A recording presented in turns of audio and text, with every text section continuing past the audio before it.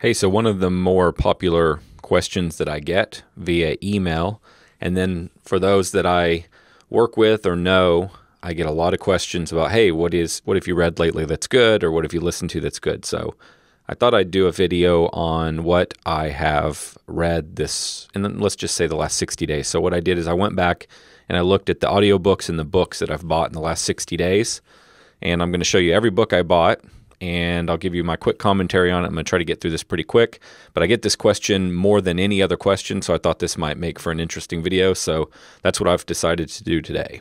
So uh, the first book that, and I'm, I'm put them in order that I bought them. I doubt there's any relevance to that. So this book has I've read both of his other books by Ryan Holiday.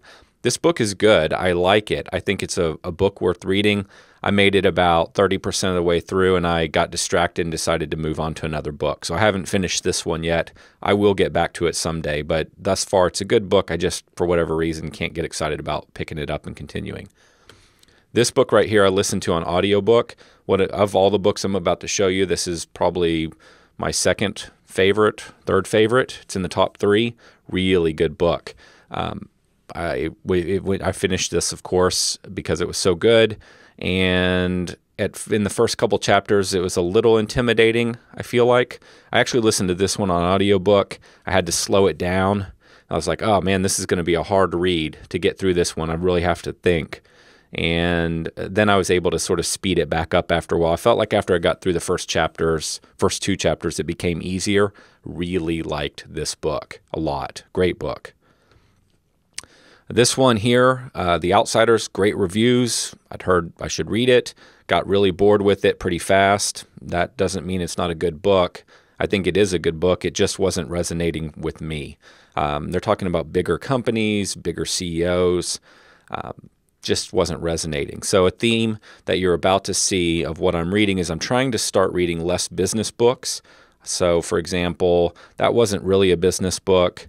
This is not per se a business book, but it, it is. I guess you, I guess it is, but it's not a traditional productivity marketing type business book.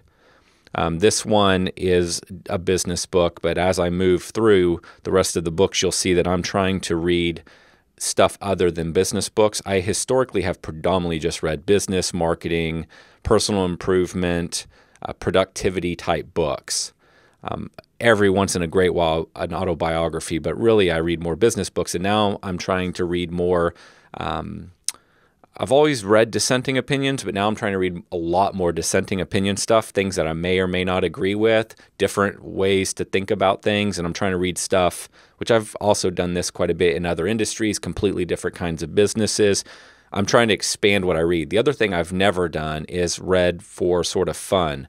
It's always been a business type book. And so you'll see that I've read several books here recently that have nothing to do with business. And um, it's, it's a change for me and kind of interesting. And I've enjoyed those books. So, um, along my concept of if the book isn't resonating, put it down. I put this one down fairly quick. I skipped around a little bit and then I said, ah, it's not for me right now. So I never finished this one. This is one of my favorite books, along with Anti Fragile. I really, really liked this book. Um, so, great book, Sapiens. You don't have to agree with it all, but I again recommend reading things you agree with and things you don't agree with. And this book, um, even if you don't agree, is a good read, in my opinion. Um, this is a different book. I stumbled across this one. I have no idea how. I actually enjoyed it. It's more of a story based book um, by the guy that does Dilbert. I enjoyed this book, so I, I read that one. And that one was called God's Debris. Um, so just to reiterate, Sapiens and Anti Fragile are probably the two books I read so far that are my favorite. Um, other than this one. So this one was really good, and I don't read books like this. So it was called Ready Player One. I've recommended it now to several people that have all read it and said they really liked it. I again just don't read books like this. I always read business marketing stuff, and I really liked it. So that then inspired me. I've been trying to expand my horizons, so that inspired me to read The Martian, which I finished that whole book and I really liked it. Um, been told by some people that guys tend to like this book more than girls. So um, And this one is one, it's got some stuff in it that you may be a little concerned about letting your kids read it, but this is a book you could get kids to read right here. It's about video games. So in Academy, I was asked my opinion on this book. And so to be able to answer that, I had to read it. I rather enjoyed this book. I got through it super fast. In fact, I plan to go back and read it again. It's a really simple concept. I think it's a, a book worth reading. It's not my favorite book, but uh, a book I like, and I'm going to read it again because I think there's some good ideas in it. I'm going to take a couple of the ideas from it and implement them in my business. A lot of what I read in this book, I felt like I already know, already learned, already read elsewhere. Not taking away from the book in any way. It's a really solid book. I, I really solid book. I recommend it. I think you should read it. Uh, so, because I thought that book was good, I decided to read his other book, which is called The Pumpkin Plan. Pretty good. I made it about 70% of the way through and put it down. Not because the book's not really good. I would recommend reading this book as well, just because, again, I feel like I've read other books that have similar concepts. I'm already doing a lot of these things. I'll go back and finish this book in time, but I just sort of wanted to move on because I felt like I already had heard a lot of this stuff because again, I read a lot and I've been been reading for some time. So, not to take away from the book, I think it's worth reading. I just chose to move on somewhere around 60 to 70% of the way into this book.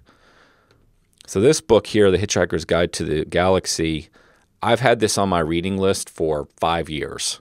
And it's I feel like I continually hear all these really interesting people say this is one of the most the greatest, most influential books ever. I'm not sure how it's influential, but they really speak highly of this book and say, if I could only have 10 books, this would be one of them. So I've been wanting to read this book forever.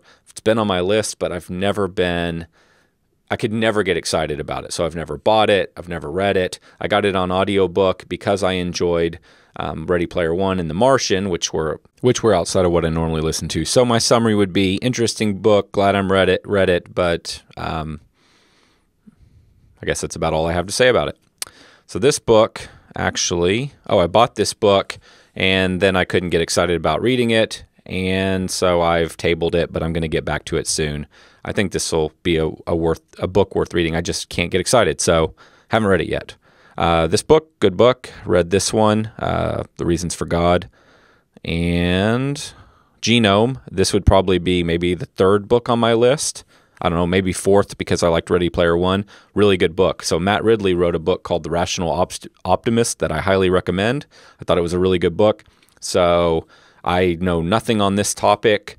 I, in fact, a lot of things that I read, I'm like, gosh, man, I don't think I paid attention at all in school, and I just just so much that I don't know outside of business stuff that I'd like to learn about that I'm curious about, and so this is a topic that I'm sort of curious about. And granted, when I was in school, they didn't know anything hardly compared to what we've learned today. So I found this to be a really good book written by an author that I really like, Matt Ridley.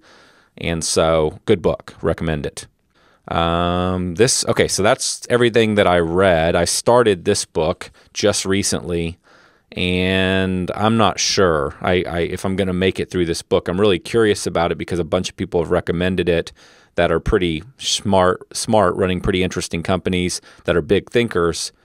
But um, I just it's been I've had it for like two weeks and I've made it into like chapter two. So we'll see what happens with this one. But I want to get through it, but it may happen later. Uh, I read this book and it was pretty interesting. I was just I don't know where I found it. Probably some other thing that I read right now. It was okay. Um, this book right now, I'm, this is the one that got me distracted from the Clock of the Long Now. Um, so this guy right here, Perry Marshall, actually, I've read all his books on Google AdWords, on Facebook, his 80-20 book. Um, I've been subscriber to his newsletter and Renaissance Club or whatever it is for like five years. Um, I've spent a fair bit of money with Perry Marshall. He's a good guy, smart guy, and he's generally a marketing business guy. Kind of comes out of the Dan Kennedy world, and he um, he this is not what he normally writes. And so I thought this would be an interesting book, kind of goes in along with some of the things I've been reading in the last couple months. So I've started reading this book now. I've read the last couple chapters and the first two or three chapters of it. So that's what I'm actually reading. And then this one, one of the best books of all time, hands down, fantastic book. I read it years ago and it came out on Audible. So I've just now started the Audible. Um, in fact, this morning, uh, and so I'm going to go through this book. So I'm sort of listening to this one right now, and I'm reading between this book and that book. So this is quite a bit. I'd say this is not the average. This is more than I normally get through in 60 days, but I've tried to stop listening to as many podcasts and I've not been reading as much on the web, which I don't tend to read much on the web. I pretty much try to stay off the web as much as I can. So I haven't really been reading hardly anything social or anything web related and I've almost only been reading. That's or listening to an audiobook. That I call I use those terms inter, interchangeably. So that's what I, why I've been able to get through more this month. My hands down favorite podcast is Tim Ferriss's podcast. Really like it. I've listened to every every podcast he's done except probably the last 30 to 40 days worth of podcasts because I've been doing more reading. So that's what my reading looks like currently. Had you seen it at the beginning of the year, uh, it would have been almost exclusively all business books, all marketing books, all like productivity type books. So a little bit of change in pattern, and I think I'll keep this up for the rest of the year and probably not read that many business books for the rest of the year. So hope that was interesting. Thanks.